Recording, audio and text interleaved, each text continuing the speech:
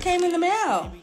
I'm so excited to try these. These are the Slim and Gutty Gummies. These are our new product. They're selling off the shelf, guys. So make sure you hit me up if you want yours.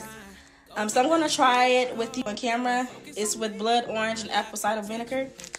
And you take it two times a day with or without food. So I'm going to try it to see how it tastes. Ah. This is what it looks like.